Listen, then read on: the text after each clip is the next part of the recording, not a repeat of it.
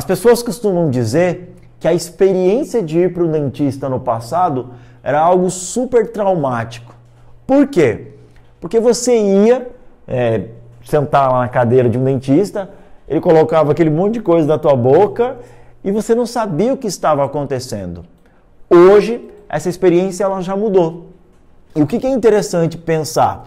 É, a dentista hoje, ou o dentista, quando ele está fazendo o seu tratamento, o que, que, ele, o que, que ele, ele costuma fazer? Ele diz: olha, agora eu estou aplicando gel, agora eu vou analisar tal dente, agora eu vou colocar tal equipamento para fazer isso, isso e isso. Então ele vai o tempo inteiro alinhando a expectativa com você. Por quê? Porque você não está vendo aquilo que está acontecendo dentro da tua boca.